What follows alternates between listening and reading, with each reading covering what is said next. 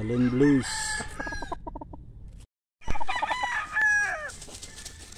Ah. So ito po anak ni White Ears. Mabait. Napakabait na manok. Ah.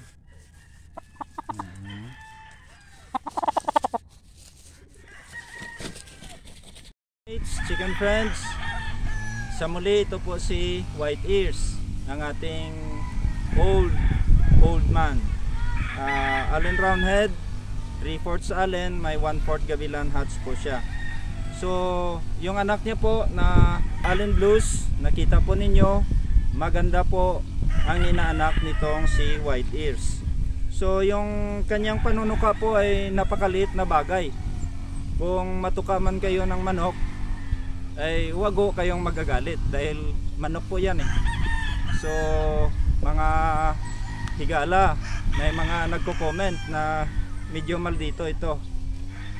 Baliwala po ang kanyang pangangagat sa ganda po ng kanyang inaanak na may mga nakakuha po sa atin napakaganda po ng resulta. Allen Blues uh, Allen Gold at maging yung mga sa Allen Ding napakainan po na manok nitong si White Ears. Ito po ang ating hen ay isang Allen Blues. 6 uh, years old going 7 dati po ay na-breed natin siya. Marami rin siya naging anak. Napakinabangan naman ng ating mga buyers.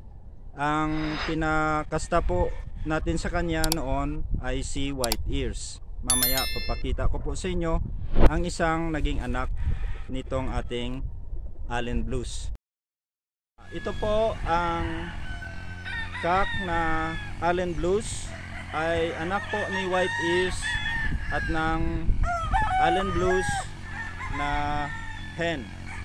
So straight comb po siya at makikita nyo po white ears. Yan po ang palatandaan na anak siya ni white ears. So ang tahid po niya may pagka black spar din gawa ng ang lolo po niya ay isang hatch no? so gwapong manok. High breaker po ito. Anak ni white ears pero mabait. Hindi naman po maldito ang mga nagiging anak ni white ears. So,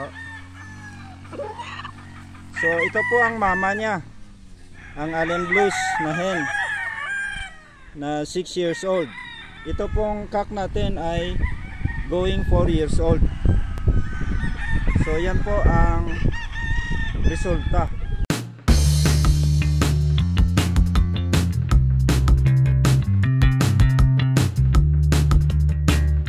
Sa mga followers po natin may katanungan si Emmanuel Tukong ang tanong po niya sa pagbreeding po ano ang magandang ibakuna sa mga inahin at sa mga broodcock uh, Emmanuel ideally makapagbakuna po tayo ng NCD Lasota with infectious bronchitis.